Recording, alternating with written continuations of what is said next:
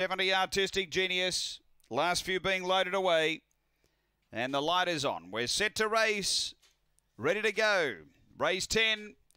Here at Gawler, we're set racing. Speed Phantom Hawk down near the inside is going to drive and lead. Artistic Genius moving to second. Blackpool Donny underneath it, improving. Uh, then Chatty Whacker and Lloyd Shout down the back. Phantom Hawk away by three on Blackpool Donny. Uh, then Artistic Genius, Lloyd Shout and Chatty Whacker up to the turn. Phantom Hawk led. Blackpool Donny running on. Phantom Hawk in front. Blackpool Donny late. Got there. Blackpool Donny grabbed Phantom Hawk. Third home is Artistic Genius. And fourth between Lloyd Shout and Chatty Whacker.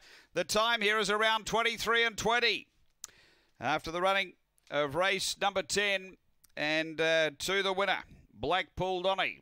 Two from one, eight third and fourth home. We stand by. Two Blackpool Donny, Kia Hurley number two.